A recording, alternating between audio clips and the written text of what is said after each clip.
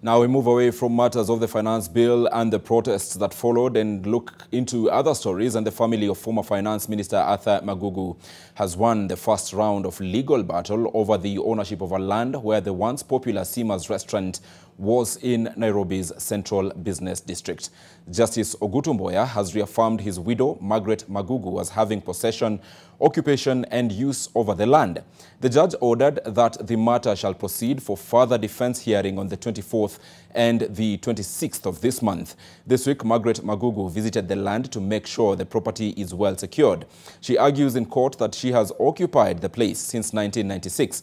However, in an interesting twist of event, former Kimilili Member of Parliament Suleiman Murunga, who had filed the suit before Justice Mboya, filed a fresh suit before Justice Jacqueline Mogeni with the same parties over the same piece of land.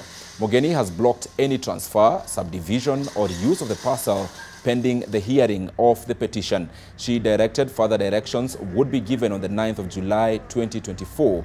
Last Monday, police arrested 12 people after two groups clashed over the control of the land.